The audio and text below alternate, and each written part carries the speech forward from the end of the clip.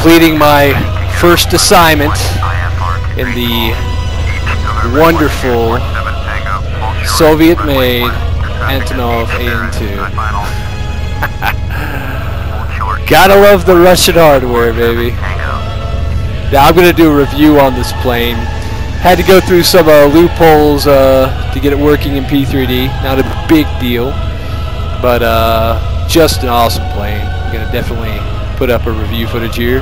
See how we do on my first landing. A little fast for this plane anyway. I'll put some flaps out. This plane is uh, extremely short field capable, so very forgiving. Go around, man. The heck with you? What the hell? I'm not going around. Why'd I just acknowledge that? I'm landing.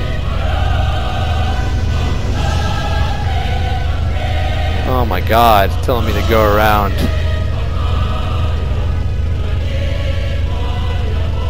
In Soviet Russia, airplane need to go around. Airport goes around. Come on, get on the ground, baby. Beautiful. Look at that. Oh. Silence, capitalist pig!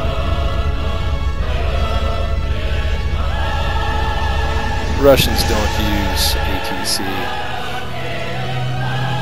Cool. Well, that was really easy. My God, such an easy plane to land.